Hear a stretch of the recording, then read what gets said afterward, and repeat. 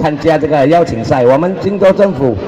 常常强调，不管做什么，在任何时间上尽量推行透明化、公平化。哈，这个在五十方面，我深信，我相信我们已经初步地去做到。啊，我们在开始起班的时候，常常受到一些队伍的质疑。你们的裁判团是什么人？你们的裁判师傅是谁？啊，在这里我可以告诉你们，我们的裁判啊都是用来自滨州政府所委任的裁判，当然他们也是在十一届哈了解知道啊，也是啊也有考过试的啊裁判，所以相信我们，就算我们的裁判啊在今天啊。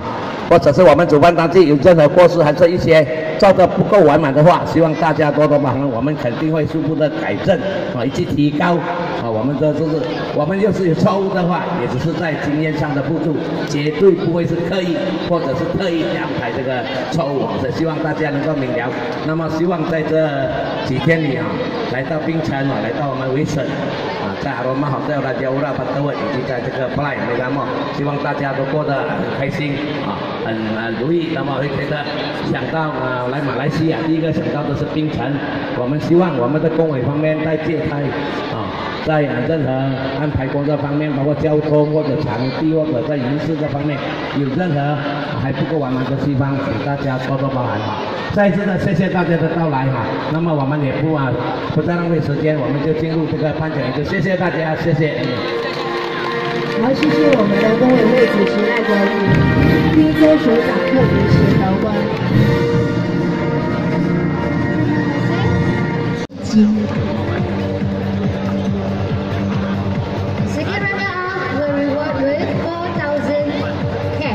我们的冠军得主是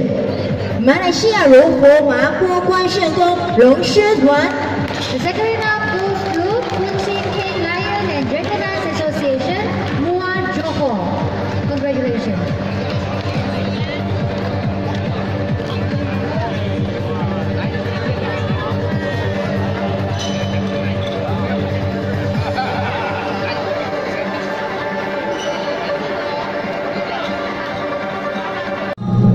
是上位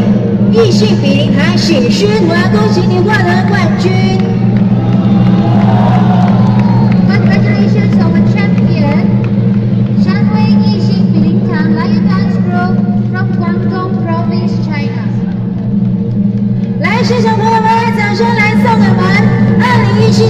第八届冰城国际高中舞狮邀请赛的冠军得主，来自我们的中国广东省汕尾艺兴比邻堂醒狮团。